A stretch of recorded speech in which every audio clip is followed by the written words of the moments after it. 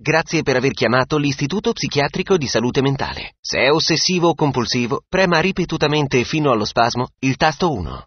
Se è affetto da personalità multipla, prema alternativamente i tasti 2, 3, 4, 5, 6, 7, 8.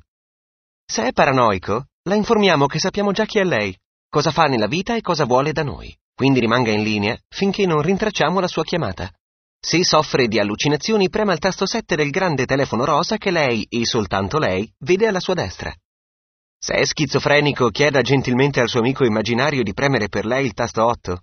Se soffre di depressione non importa quale tasto prema, tanto non c'è niente da fare. Il suo è un caso disperato e non ha cura. Se soffre di amnesia prema in rapida sequenza i tasti 2, 5, 9, 7, 5, 4, 1, 6, 3, 9, 2, 9, 7, 5, 1, 6, 3, 5 e ripeta ad alta voce nell'ordine che segue il suo nome, cognome, numero di telefono di casa e del cellulare, indirizzo email, numero di conto corrente, codice bancomat, data di nascita, luogo di nascita, stato civile e cognome danubile di sua nonna. Se soffre di indecisione lasci il messaggio prima, dopo e durante il bip. Se soffre di amnesie temporanee di breve durata, prema 0. Se soffre di amnesie temporanee di breve durata, prema 0. Se soffre di amnesie temporanee di breve durata, prema 0. Se soffre di amnesie temporanee di breve durata, prema 0. Se soffre di avarizia ossessiva le comunichiamo che questa telefonata ha un costo di circa 500 euro al minuto.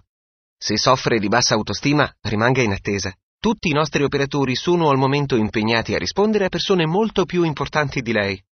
Se è uno di quegli italiani che alle ultime elezioni ha votato Berlusconi, riagganci.